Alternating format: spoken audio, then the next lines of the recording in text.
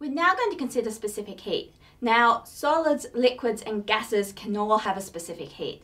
The specific heat is the amount of energy, usually in the form of heat, that needs to be added in order to raise the temperature of one kilogram of a substance one degree C. So as an equation, we can write Q is equal to mc delta T. In this equation, Q is the heat which is transferred. It's an energy, so measured in joules.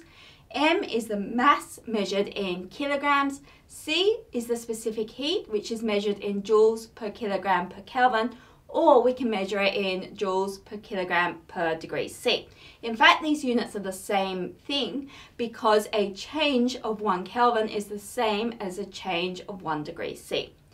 Delta T is the change in temperature in either degrees C or kelvins. Now the specific heat depends upon the substance which is involved and it can also have a slight dependence upon the temperature. So sometimes at higher temperatures we need to add in more energy to get the same change in temperature of that substance. So let's consider the specific heat of some common substances. Now, water is a very special substance with an unusually high specific heat. So the specific heat of water is 4,186 joules per kilogram per Kelvin.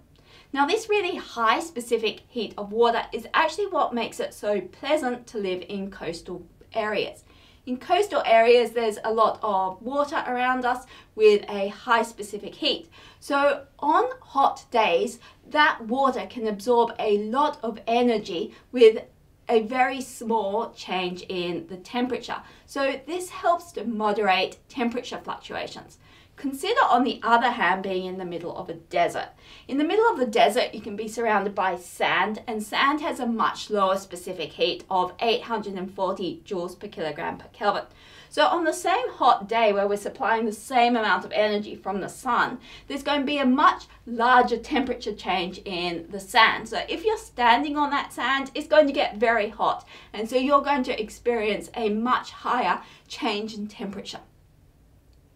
Now, the specific heat also depends upon the phase of the substance. So if we consider water, which is turned into steam, then the specific heat of the steam is equal to 2010 joules per kilogram per Kelvin, while when water is ice, its specific heat is 2090 joules per kilogram per Kelvin.